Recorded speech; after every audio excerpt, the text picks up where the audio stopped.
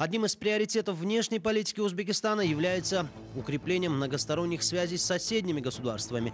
Традиционно дружественные узбекско-казахстанские отношения сегодня демонстрируют динамику качественного обновления, обретают новые грани и содержание.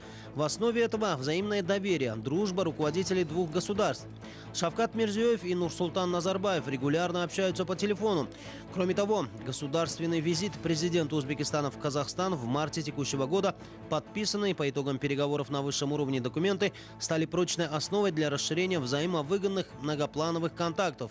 Всего по итогам переговоров подписано 13 межгосударственных, межправительств и межведомственных документов и пакет из 74 контрактов и соглашений торгово-экономических, финансовых и инвестиционных сферах около миллиарда долларов. Я вам искренне хочу сказать, что этого не было никогда. И сегодня э, происходил форум 250 предпринимателей с Узбекистана сегодня участвует на этом форуме. Это говорит о том, что и региональное сотрудничество, и сотрудничество предпринимателей дают серьезные плоды, и они будут обязательно результативными. Подводя итоги, можно сказать, что по важнейшим вопросам стратегическое партнерство, во-первых, и полное включение доверия между нашими странами. Второе – социально-экономическое сотрудничество – Третье – гуманитарное сотрудничество. По всем этим вопросам мы договорились, что у нас нет разночтения. Между Узбекистаном и Казахстаном сегодня нет нерешенных проблем, ни территориальных, ни пограничных, ни политических, ни экономических.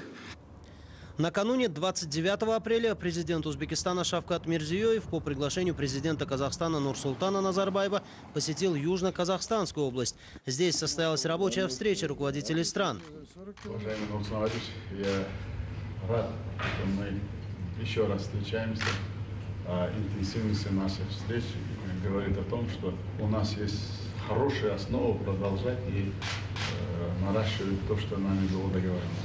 После визита в Ставище мною принята дорожная карта по всем направлениям нашей деятельности. Все пункты нашей договоренности, они воплощаются.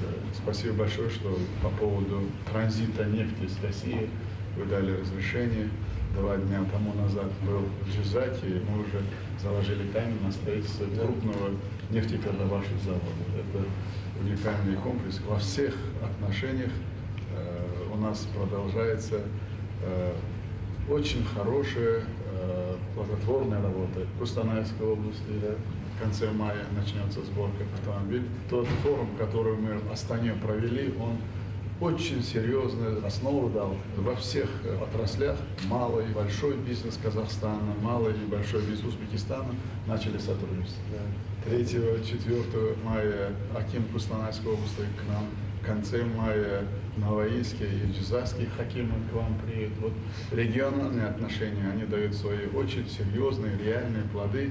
И то, что мы с вами договорились, что они будут часто встречаться. Я думаю, это дает уже результаты. И э, сегодня то, что мы сверяемся часами по нашим договоренностям, это даст дополнительный импульс нашим всем э, предприятиям, руководителям, э, военно-техническом отношении. Э, скоро наш заместитель министра будет э, в Казахстане. Министр культуры был у нас в Узбекистане. Они тоже уже договорились о составили тоже дорожную карту о обмене. Самое главное, вот, народы наших двух стран, они, я бы сказал, окрыленные.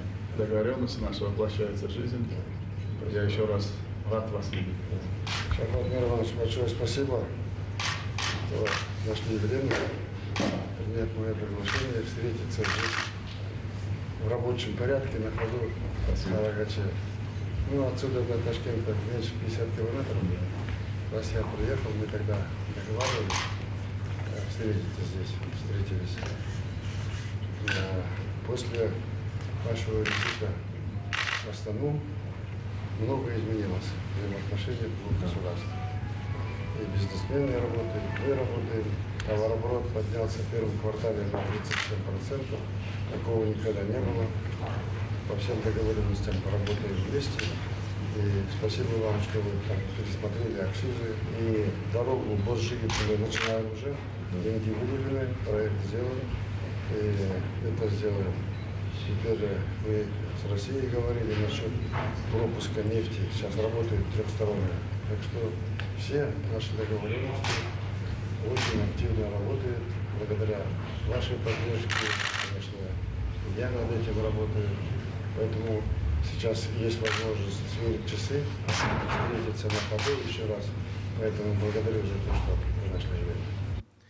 Очередная встреча президентов Узбекистана и Казахстана позволила вновь утвердиться в намерениях стран укреплять дружбу и многостороннее сотрудничество на всех уровнях, где главным ориентиром являются интересы повышения качества и уровня жизни народов Узбекистана и Казахстана.